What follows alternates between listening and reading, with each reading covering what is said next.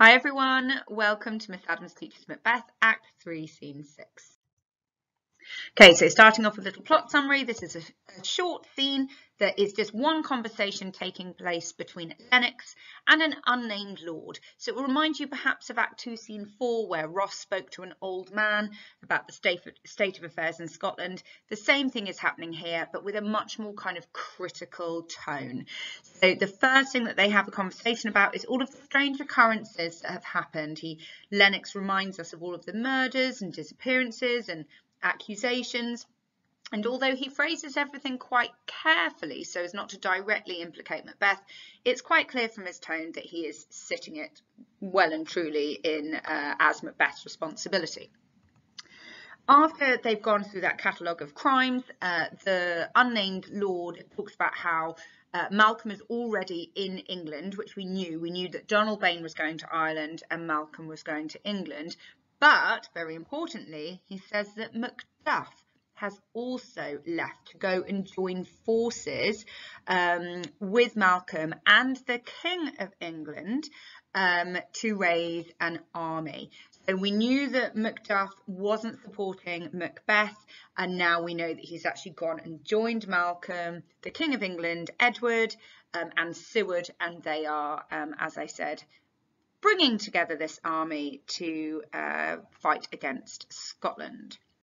Now, I won't lie to you, this scene is one of the scenes that it feels like a sort of function scene, but that doesn't mean that it wouldn't come up in an exam. And I know that if this scene came up, I, I feel that people might panic a little bit because it's not one of those like big scenes, you know, like Act 1, Scene 5 with Lady Macbeth or Act 2, Scene 2 with the murder.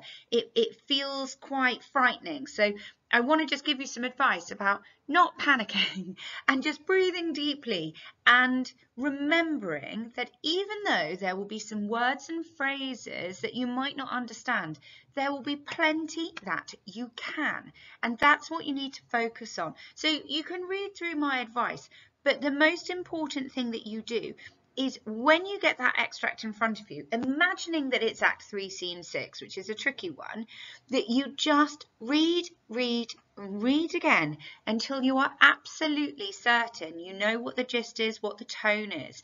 Now, once you've figured out what's going on in the scene, then you think to yourself, well, how is Shakespeare getting this across? There's no point in just trying to feature spot if you don't know what the meaning is. So meaning first, techniques later. And if you struggle with identifying devices, go with your easy wins. You know, look out for punctuation. Oh, it's an exclamation mark. It's an exclamative. That's a structural comment. Um, if you see a rhyming couplet, that's a form. Um, if you can't find any language devices, well, just talk about word choices. Everyone can find something emotive. Um, so emotive language, and then you can use word class terminology like adjectives, nouns, verbs. Okay, so there's always something you can do. So panic not. Now, we're going to imagine that this extract, or sorry, this scene, because this scene is short enough to be an extract, really. We're going to imagine a world where an examiner said, explore how Shakespeare presents Macbeth's rule in this scene. So it's basically saying, how do these guys um, present Macbeth's type of leadership, their experience of him being king? Okay, so have that in your head as we go through it, although the rest of this scene will take you through the meaning of it in general. Okay, so it doesn't have to be for this essay question, but it's a kind of possibility. So let's look at how it opens. Uh, tongue in cheek is Lennox a bit of a gossip? I'm sure he's not, but I think it's important that the scene opens with him saying, My former speeches have but hit your thoughts, which can interpret further. Only I say things have been strangely borne. So, most important is that, you know, these guys have had this conversation before. The fact that Lennox says, My former speeches. So he's saying, What I said to you previously has obviously had a really big impact.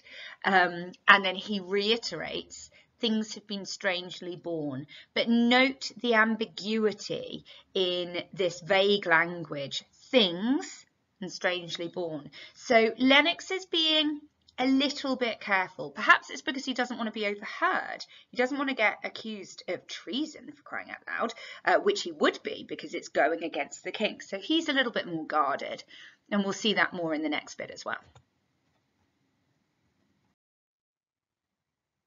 Okay, so vital to this part of the scene is Lennox's tone. So as the piece begins, he seems to just be talking through everything that's happened so far. He says the gracious Duncan was pitied of Macbeth, so Macbeth was upset for Duncan, marry he was dead. And the right valiant, notice these adjectives, that gives us a, an indication of how he feels about Banquo, walked too late, whom you may say, if it please you, Fleance killed, for Fleance fled.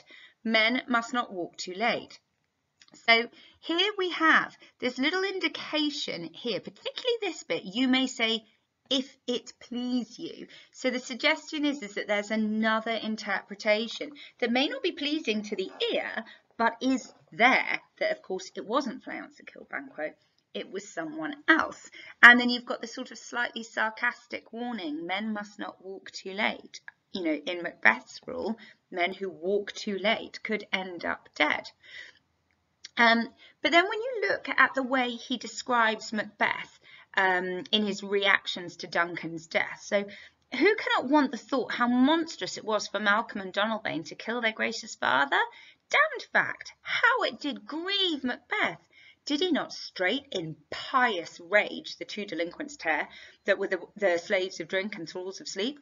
Was not that nobly done? Ay, and wisely too?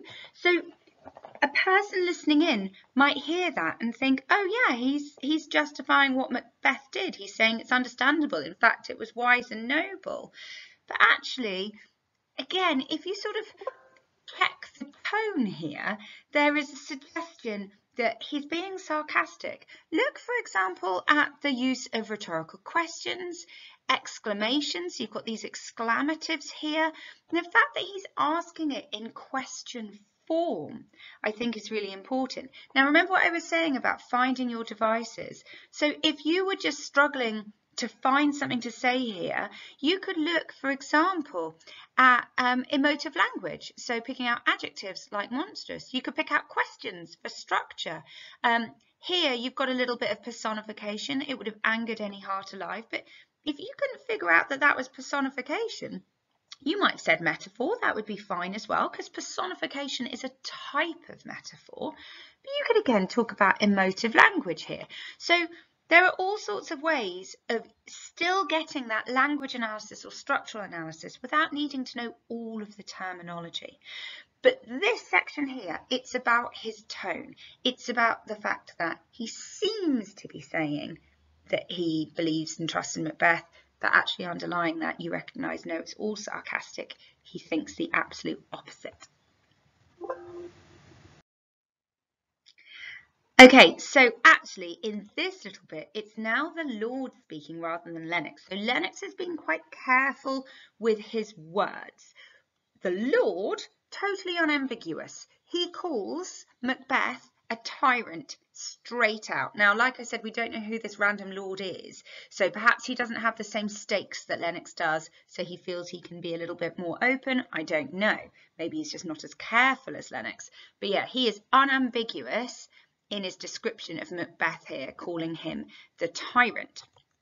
Now, if you were commenting on Macbeth's rule, you wouldn't have to just focus on what was being said about Macbeth, because you can actually look at the device of juxtaposition here, because the Lord, in order to demonstrate how bad Macbeth is, he uses a lot of really positive language to describe the attributes of the other of the other side. So, for example, the son of Duncan, so this is Malcolm, he is living in the English court and is received of the most pious Edward. Now, Edward is the King of England, okay? So, most pious, we've got the superlative adjective. So, it, that's the EST form of an adjective or putting the word most in front of an adjective. So the highest degree. So the, the most pious. There is no one more pious than Edward. And pious means sort of um, religious and like a religious goodness. There's no one more kind of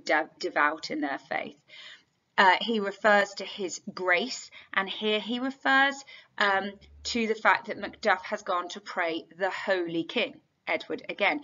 Now note the adjective holy. Okay, so he's pointing out that Edward is God's rightful choice for England.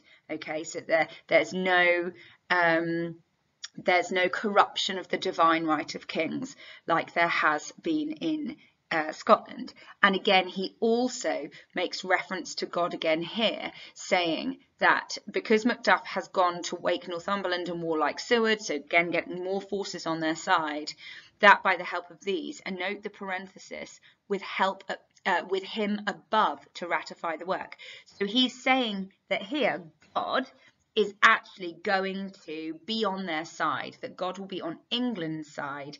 Uh, he will ratify, he will be there for them, he will support them um, because they are rightful. Okay, um, and he says that once this has happened, once God has ratified the work or gone to their aid or supported them, they will again give to our tables meat. So he's talking about life in Scotland here once Macbeth is gone. We will again Give to our tables meat, sleep to our nights, free from our feasts and banquets, bloody knives. Do faithful homage and receive free honours, all which we pine for now. So again, we've got listing, largely asyndetic listing, so not very many ands. But here it's he's basically talking about all of the things that they've lost. They've lost food, so they're, they're all starving. None of them are sleeping. So it's not just Macbeth um, who has had uh, sleep murdered. He's murdered sleep for everyone. Um, and then when he says, free from our feasts and banquets, bloody knives, this is because this is metaphorical, but it's vaguely literal as well because he's saying that they no longer feel that they can trust the people around their dinner table um, and note the way that we've got this plosive alliteration here. Banquets bloody uh, knives so quite harsh powerful violent sounding words. So he's saying that you can't even trust the people that are sat around your dining table with you anymore. Um, and he, they are pining for this okay? That's they are they are they are desperate to have that sense of peace back in their lives once more. Um, so this is the final section of the scene and our extract from all extents and purposes. Um, this is said by Lennox. Some holy angel Fly to the court of England and unfold his message ere he come, that a swift blessing may soon return to this our suffering country under a hand accursed. So there's so much going on here. We've talked quite broadly about the meaning, but this is a real opportunity for language analysis. So I'm going to give you some critical terms on the slide to help you out. Okay, so first of all, we've got our religious imagery. He's calling upon a holy angel.